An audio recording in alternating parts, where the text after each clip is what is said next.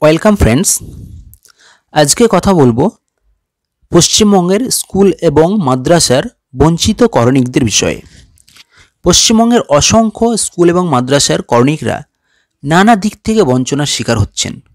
সেই বঞ্চনার প্রতিবাদে স্কুল অ্যান্ড মাদ্রাসা ক্লার্কস অ্যাসোসিয়েশনের হাওড়া জেলার তরফ থেকে শিক্ষা দপ্তরের সাধারণ ডেপুটি সেক্রেটারি, শিক্ষা দপ্তরের ডেপুটি সেক্রেটারির কাছে স্মারকলিপি জমা দিলেন হাওড়া জেলার সদস্যগণ। রাজ্যের স্কুল ও মাদ্রাসা করণিকদের অনলাইন ট্রান্সফারের সুযোগ সহ অন্যান্য দাবি আদায়, ছাত্রছাত্রীদের স্বার্থ রক্ষার্থে ও অন্যায্য অতিরিক্ত কাজের বোঝা চাপিয়ে দেওয়ার প্রতিবাদে তেসরা নভেম্বর দু কুড়ি মঙ্গলবার মধ্যশিক্ষা পর্ষদের ডেপুটি সেক্রেটারি পার্থ কর্মকার মহাশয়ের কাছে স্মারকলিপি জমা দিলেন West Bengal school and Madrasa clerks অ্যাসোসিয়েশনের হাওড়া জেলার শাখার প্রতিনিধিরা। ক্লার্কস অ্যাসোসিয়েশনের তরফে হাওড়া জেলার সম্পাদক কৃষ্ণেন্দু ঘোষ বলেন, অনলাইনে শিক্ষকদের ট্রান্সফার ব্যবস্থা চালু হলেও স্কুল ও মাদ্রাসা কর্ণিকদের সে সুবিধা থেকে বঞ্চিত করা হয়েছে। এই করোনা পরিস্থিতিতে শিক্ষকদের অধিকাংশ স্কুলে উপস্থিত না হয় ছাত্রছাত্রীদের স্বার্থ বিঘ্নিত হচ্ছে। কন্যাশ্রী, শিক্ষাশ্রী সবুজ সাথী সহ বিভিন্ন প্রকল্পের কাজ করণিকদেরকেই করতে হচ্ছে। নবম শ্রেণির রেজিস্ট্রেশন, মিড ডে মিল কর্মসূচি বাধাপ্রাপ্ত হচ্ছে। তিনি অফিস স্টাফদের দিয়ে এই সকল গুরুত্বপূর্ণ পরিষেবা দেওয়ার ক্ষেত্রে সামগ্রিক চাপ এসে পড়েছে করণিকদের উপর। এই পরিস্থিতিতে করণিকরা জীবনের ঝুঁকি নিয়ে ছাত্রছাত্রীদের পরিষেবা দিয়ে চলেছে। অথচ তাদের কোভিড ওয়ারের সুবিধা, ট্রান্সফারের সুবিধা, প্রমোশনের সুবিধা থেকে বঞ্চিত করা হচ্ছে। কন্যাশ্রীর মতো সারা বিশ্বব্যাপী সমাদৃত প্রকল্পের প্রকৃত উপকার হওয়া সত্ত্বেও তাঁদের স্বার্থ মানবিকতার সাথে দেখা হচ্ছে না। মান্ধাতার আমলের কাজের প্রকৃতি বদলালেও বদলায়নি করণিক নিয়োগের শিক্ষাগত যোগ্যতার মান। বিজ্ঞান প্রযুক্তির যুগে আজও একজন মাধ্যমিক পাশ করণিক কীভাবে বিদ্যালয়ের এই বিপুল কাজ করতে পারেন? তাই অবিলম্বে করণিক নিয়োগ যোগ্যতা, উচ্চ মাধ্যমিক ও কম্পিউটার প্রশিক্ষিত করা প্রয়োজন। মধ্যশিক্ষা পর্ষদের ডেপুটি সেক্রেটারি, পার্থ কর্মকার মহাশয় তাঁর আয়ত্তাধীন বিষয়গুলিতে পদক্ষেপ গ্রহণ করবেন এবং তাদের স্মারকলিপি ঊর্ধ্বতন কর্তৃপক্ষের কাছে পাঠাবেন বলে আশ্বস্ত করেছেন। চলুন এ বিষয়ে বিস্তারিত জেনে নেব। ডাব্লিউবিএসএমসি এর সাধারণ সম্পাদক তন্ময় সরকার মহাশয়ের কাছ থেকে। বঞ্চিত নিপীড়িত করণিকরা আছেন যারা সরকার পোষিত বা সরকার সরকারি সাহায্যপ্রাপ্ত স্কুল এবং মাদ্রাসাগুলোতে চাকরি করেন। হ্যাঁ তাদের দাবি দাওয়া নিয়ে West Bengal school and Madrasa class association দীর্ঘদিন ধরে লড়ছে। আঠারো সালে সংগঠন তৈরি হয়েছে এবং সেখান থেকে সে লাগাতার লড়াই সংগ্রাম চালিয়ে রেখেছে হ্যাঁ। চালিয়ে রেখেছে। কারণ গত স্বাধীনতার পর থেকে আজ পর্যন্ত কোন সংগঠন বা কোন সরকার করণিকদের যে সমস্যা তাদের যে প্রতি যে বঞ্চনা বা তাদের উপর যে অতিরিক্ত কাজের চাপ এবং তাদের যে অভাব অভিযোগ সেগুলো হ্যাঁ। কেউ কখনো দেখেনি আচ্ছা ডাব্লিউবিএসএমসি একমাত্র সংগঠন যে সংগঠনটি সেই প্রচেষ্টাটি শুরু করেছে। আচ্ছা। এবং তারই ক্রম পরিণতিতে আমাদের সংগঠনটি আজকে সারা পশ্চিম বাংলা প্রভূত মানে সাড়া পেয়েছে বিভিন্ন কর্মিকদের কাছ থেকে। আচ্ছা আচ্ছা। সে দাঁড়িয়ে আমাদের এই যে বিশেষ পরিস্থিতি এখন তৈরি হয়েছে আমাদের কোভিড নাইন্টিন সিচুয়েশন অতিমারি সিচুয়েশনে এ বিষয়ে আপনারা জানেন যে কর্মিকদের উপর বঞ্চনাটা আর বহুগুণ বেড়ে গেছে। একদম।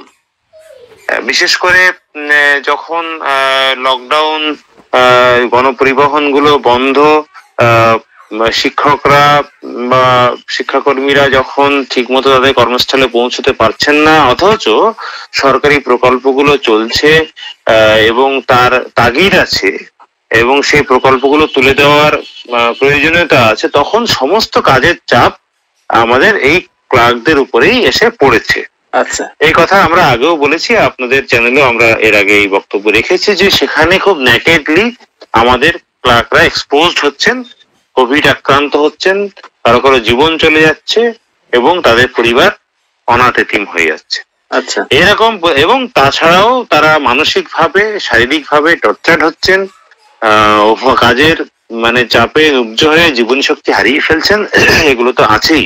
আগে ছিল সেগুলো এখন আরও বহু গুণ হয়েছে।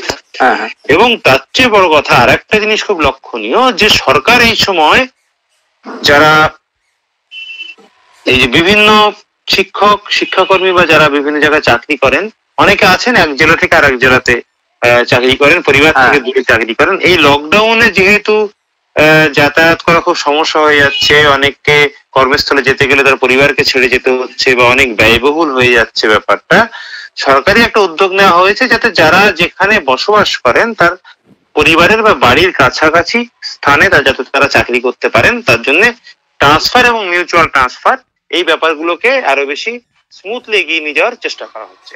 আচ্ছা। তো সেইটারই একটা উদ্যোগ হিসাবে এসেছিল যে আইওএমএস পোর্টালে মানে mutual transfer online mutual transfer application করার একটা সুযোগ দেওয়া হয়েছে। হ্যাঁ হ্যাঁ। কিন্তু আমরা অত্যন্ত দুঃখের সঙ্গে লক্ষ্য করছি যে সেই পোর্টালে সুযোগটা শুধুমাত্র শিক্ষকদের জন্যই দেওয়া হয়েছে। এবং আচ্ছা। যথারীতি করণিকরা সেই সুযোগটা অ্যাভেল করার ক্ষেত্রে বঞ্চিত। আচ্ছা। এখন আমাদের প্রশ্ন হচ্ছে যে আমাদের বেতন কম। আমরা স্কুল স্কুলে সবচেয়ে বেশি পরিশ্রম করে থাকি। আমাদের এই লকডাউনে হাজার হাজার টাকা অনেক ক্লার্কে খরচ হয়ে গেছে, তার কর্মস্থলে পৌঁছতে কিন্তু যেতে সে বাধ্য হয়েছেন। আমাদেরও পরিবার পরিজন আছে, আমাদেরও সন্তান সন্ততি আছে, তাদের ভবিষ্যৎ আছে, আমাদেরও স্বাস্থ্য আছে, চিকিৎসার প্রয়োজন আছে, পুষ্টির প্রয়োজন আছে।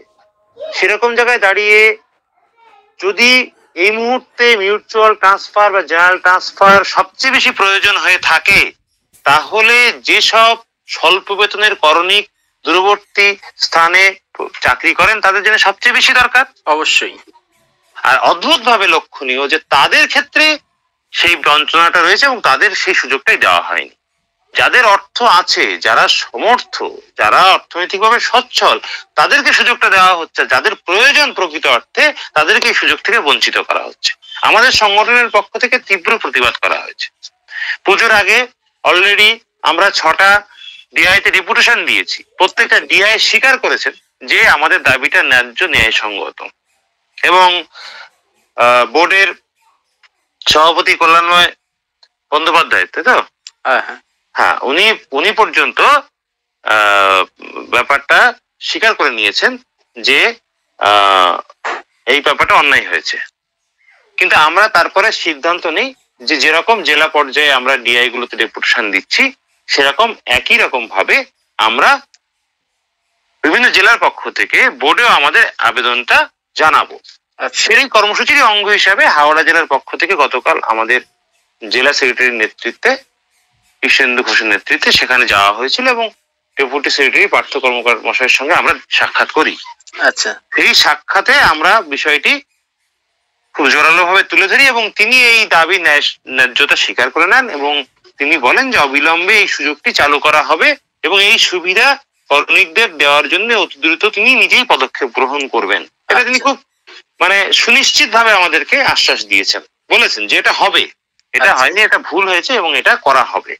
আচ্ছা। এটা আমরা মনে করি যে আমাদের এই সুবিধাটা যদি দেওয়া হয় এবং ডাব্লিউবিএসএনসি যদি এই লড়াইটায় জেতে তাহলে সেটা করণিকদের জন্য একটা বিরাট বড় সুবিধা আসতে চলেছে। এছাড়াও সেখানে নোডাল টিচারদের যে কাজ যে কাজটা করণিকদের উপর চাপিয়ে দেওয়া হয় সেই প্রশ্নেও আমরা তাকে তার সঙ্গে কথা বলি এবং তিনি আমাদেরকে জানান যে অবিলম্বে তিনি নোডাল টিচার সম্পর্কিত যে কাজ স্কুলগুলোতে আছে অর্থাৎ যে কাজটা যে শিক্ষক তিনি নোডাল টিচার হিসেবে অ্যাসাইন্ড সবুজ সাথী হোক কন্যাশ্রী হোক শিক্ষাশ্রী হোক সেই কাজটা না তিনিই করেন। আচ্ছা।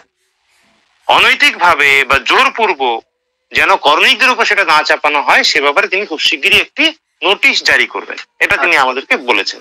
আর একটা পয়েন্ট নিয়ে আলোচনা হয়েছে সেটা হচ্ছে কর্মীদের শিক্ষাগত যোগ্যতা বৃদ্ধির প্রশ্নে। খুবই গুরুত্বপূর্ণ। খুবই গুরুত্বপূর্ণ কারণ আমরা জানি যে শিক্ষাগত যোগ্যতা যদি বৃদ্ধি করা না হয় তাহলে কর্মীদের বেতন বাড়ানো সম্ভব হবে না। পলিসিতে আটকে যাবে। অবশ্যই। তখন তিনি বলেন যে তখন এর আগেও উনি আমাদেরকে আমার সঙ্গে এই কথা বলেছিলেন যে এটা তো পলিসি মেকারদের ব্যাপার। এটা বিকাশ ভবন শিক্ষা দপ্তর অর্থ দপ্তর তাদের ব্যাপার তাদের পলিসি মেকিং এর ব্যাপার। এটা বোর্ডের তো কিছু করার নেই।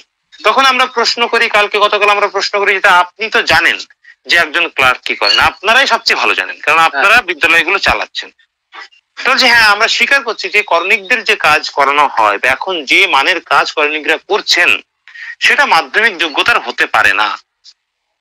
এবং যেসব করণিক কর্মরত আছেন তারা খুব কম সংখ্যক মাধ্যমিক যোগ্যতা সম্পন্ন। অবশ্যই। অধিকাংশই উচ্চ যোগ্যতা সম্পন্ন। হায়ার এডুকেশন তাদের তারা অ্যাপেল করেছেন। তারা কেউ গ্রাজুয়েট কেউ স্নাতক স্নাতকোত্তর ডিগ্রি পেয়েছেন।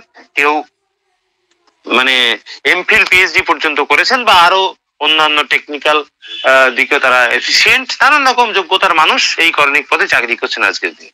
হুম। এবং তাদেরকে দিয়ে সেরকম উচ্চস্তরের কাজই করিয়ে নেওয়া হচ্ছে। তিনি এটা স্বীকার করেছেন। বললাম তাহলে এইটা যখন আপনারা স্বীকার করছেন যে আমাদের যোগ্যতা আছে এবং আমাদেরকে দিয়ে যে কাজ করানো হয় সেটা আমাদের আহ, যে বেতন দেওয়া হয় তার সঙ্গে তার বৈসাদৃশ্য আছে।